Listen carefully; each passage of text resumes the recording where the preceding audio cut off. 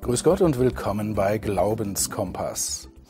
Heute geht es bei uns wieder um Papst Pius XII. Für viele ist er einer der ganz großen Päpste der Geschichte. Andere würden ihn buchstäblich gerne zum Teufel wünschen. Heute sprechen wir vor allem über das Pius-Bild, das unsere Zeit von ihm gezeichnet hat. Und dazu begrüße ich wieder den Historiker und Publizisten Michael Feldkamp. Herzlich willkommen. Herr Dr. Feldkamp, wir haben in der letzten Sendung vor allem über Papst Pius XII. Haltung in der Zeit des Nationalsozialismus gesprochen. Aber er war ja danach auch noch 13 weitere Jahre Papst. Hat er denn auch da noch Akzente setzen können, die heute noch von Bedeutung sind? Man muss zum einen sehen, dass äh, Pius XII. leider über diese 13 Jahre nach dem Zweiten Weltkrieg äh, häufiger krank war und auch oft über mehrere Wochen.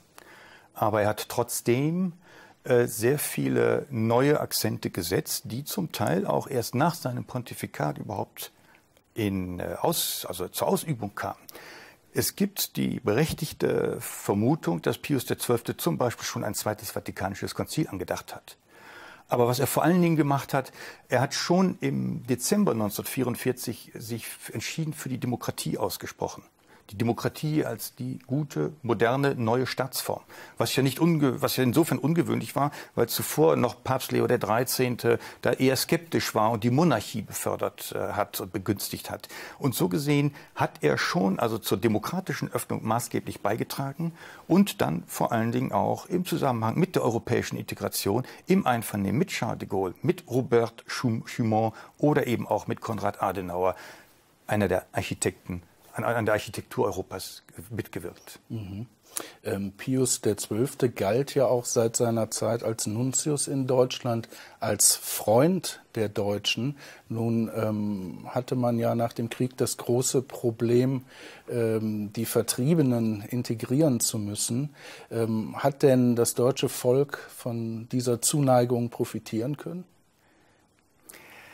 Ja, ich glaube sogar, dass dieser Begriff äh, Papa Tedesco, also der deutsche Papst, sogar erst in den 50er Jahren entstanden ist.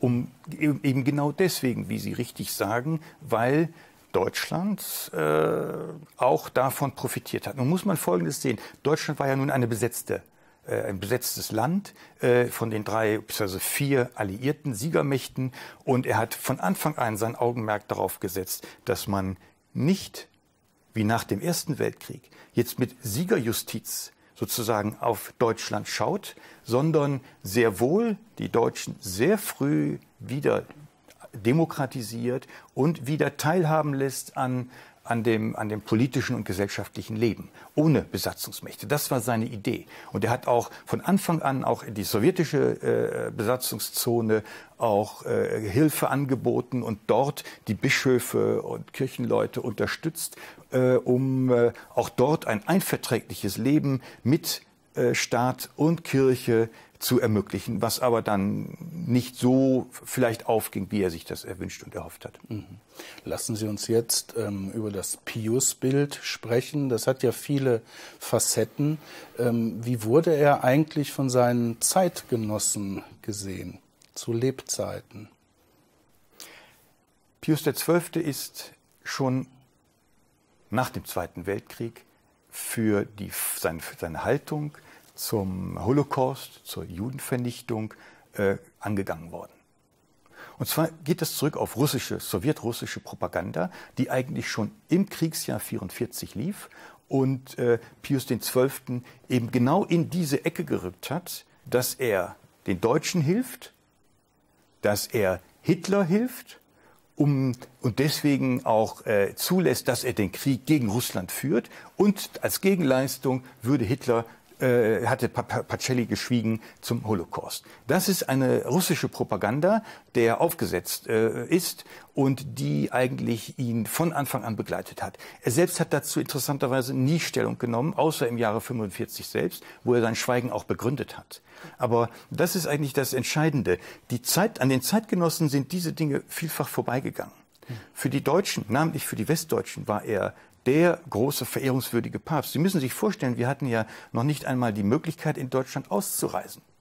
Aber für das Heilige Jahr 1950 war das plötzlich möglich. Das ist ein Deal gewesen zwischen Pius XII. und den Alliierten, den er gesagt hat, ihr müsst im Heiligen Jahr auch den Deutschen die Möglichkeit geben, wieder Ausland, ins Ausland zu reisen, also sprich, sprich nach Italien. Mhm. Das sind äh, natürlich immer nur kleine Dinge, aber das sind, ist das, was dann äh, hängen bleibt. Sie sprachen von der kommunistischen Propaganda und ich glaube auch, die überlebenden Juden des Holocaust haben äh, diese Propaganda auch nicht gut geheißen. Sie hatten auch ein anderes äh, Pius-Bild.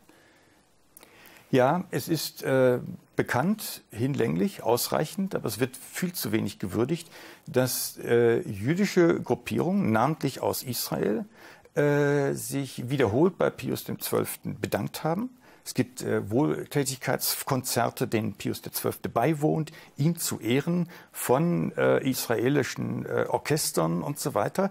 Also ähm, die die Menschen haben ihn hoch verehrt und ich bin auch der festen Überzeugung, dass eben im allgemeinen Konsens es war, ein allgemeiner Konsens war, dass Pius XII.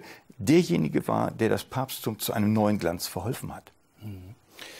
Ähm, was dann dieses Peace-Bild geändert hat, das war ein Theaterstück, nämlich das ja. Theaterstück Der Stellvertreter von Rolf äh, Hochhuth. Darin finden sich all die Anklagen, die wir auch heute noch kennen, von wegen der